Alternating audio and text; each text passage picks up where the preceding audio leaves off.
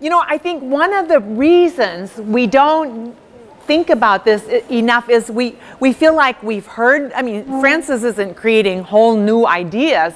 Like um, Steve Angrisano a couple years ago at a national conference said, looking back over his life in ministry, he wished he would have had and given other people more real faith experiences and not near faith experiences.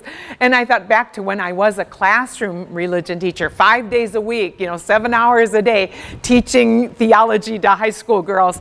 And I thought I talked to them way too much about prayer. I should have prayed with them. You know, that kind of thing.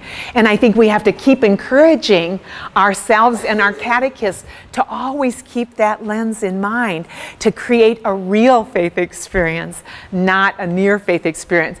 And Francis has made me get re excited about that because we think, you know, well, yeah, but I'm doing this, you know, all these weeks out of the year from September till April or May or however long faith formation lasts.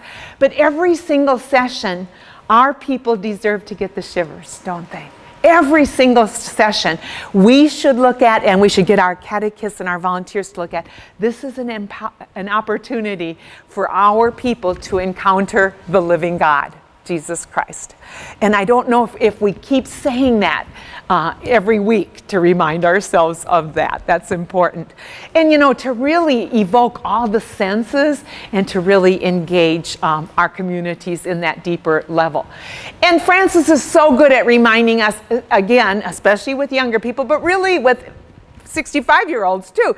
If it doesn't make sense in my everyday life, I'm just not going to buy what you have to say, as smart as you might be because it has to make sense where the rubber hits the road.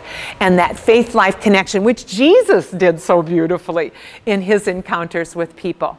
And that's one of the reasons I absolutely believe we have to keep asking are we doing event centered learning? There are so many awesome events in the Catholic Church liturgical calendar. And whether, you know, the core of your of your teaching is event centered or not, we should still do event centered learning. And one of the things I love about that is we enter more deeply into the things in the Catholic Church that give us those encounters. For example, the Triduum. There's no better place to encounter the paschal mystery of Jesus than the Triduum. But if we don't help people to understand the know what, the know how, the know why, then they are going to say, I heard the vigil last two and a half hours, not going to go to that. And I just think that these three questions are just so great for helping people make the faith life connection. The know what is the theology, right? This is what we believe as Catholics. The know how is what disposition do I need? When um, we were being um, in Omaha being trained in the new um, liturgical words and everything, um, Brother William, the Christian brother who's the head of our worship office in Omaha, he was so good at um, you know teaching because a lot of people were there very resentfully because they didn't think consubstantial would really help people to enter more meaningfully into into the into the worship of our church, the Eucharist. Um, so a lot of people were sitting there kind grumpy looking. And, and God, God bless you. Brother William said, The train has left the station. Get over it. Let's see what we can do with it. And, and you know, and he said we need to focus with our people on the know how. Because we come as consumers instead of coming as givers. And that's why a lot of people don't get a lot out of Sunday Mass.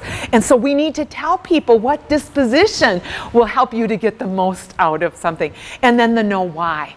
And you know what? Gen Xers, millennials are very pragmatic. They want to know why they should.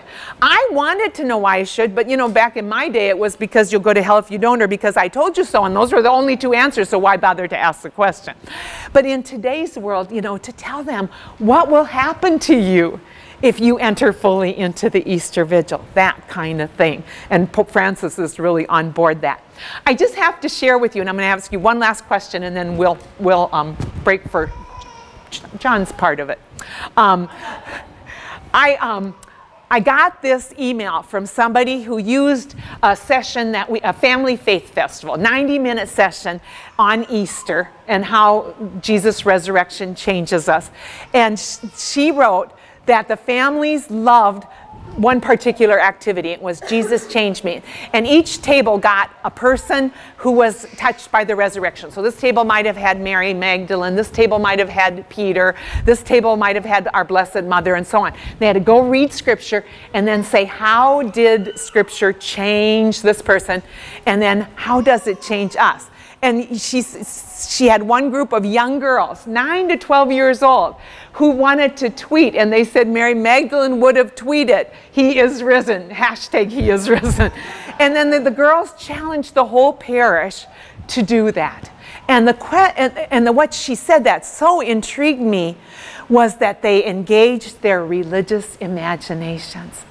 And so I think one of the things that Francis has taught me, and this lady reminded, this DRE reminded me of, is that should be true, right? That we, we capture the religious imagination of people, that we invite them to do that. So the last question I'll have you talk about, and then we'll shift to John uh, before we break for lunch. How do you make sure that you are exercising the religious imaginations of your people through the faith formation that you are doing with them, no matter what age group you work with. Talk to each other.